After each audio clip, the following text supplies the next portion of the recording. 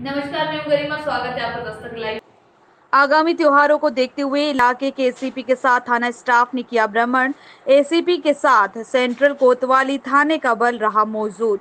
महारानी रोड, दौलतगंज, झंडा चौक क्षेत्र, संजय सेतु, खातीपुरा रोड पर पैदल भ्रमण किया। थाना सेंट्रल कोतवाली थाने का बल भी भ्रमण में रहा मौजूद।